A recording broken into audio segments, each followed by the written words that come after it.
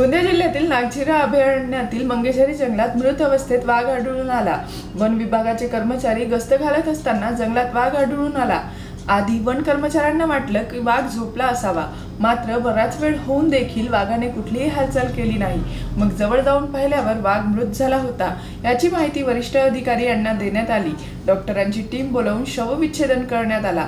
दोन वाघाच्या झुंजीत T nine वाघ बेशुद्ध होऊन मृत्यू झाला असल्याचा प्राथमिक अंदाज वर्तविण्यात आला आहे. जीबी न्यूजचे प्रत्येक अपडेट मिळवून घेण्यासाठी तुम्ही आमच्या चॅनलला लाईक करा सबस्क्राईब करा आणि शेअर करा. तसंच बेलायकनला सुद्धा प्रेस करा. आपला जिल्हा आपली बातमी. GB news Gondia.